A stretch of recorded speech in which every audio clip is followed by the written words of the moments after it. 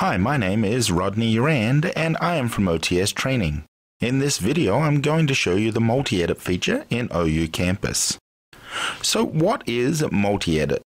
It's a button found on some pages that allows you to quickly pre-fill website content rather than going into the main content section of a page and adding it. Let's explore how to use that feature now. One of the more popular templates that feature the multi-edit button is the faculty info page.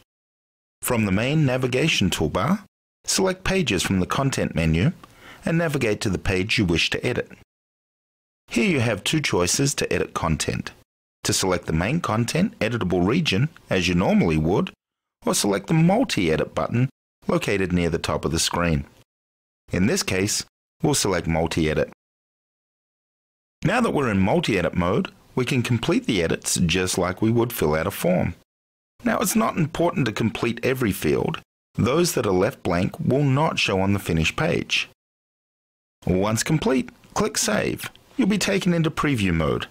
Here you will review the changes and submit for publishing. And that's all there is to it. Thanks for watching. For more information, please visit towson.edu slash OTS training.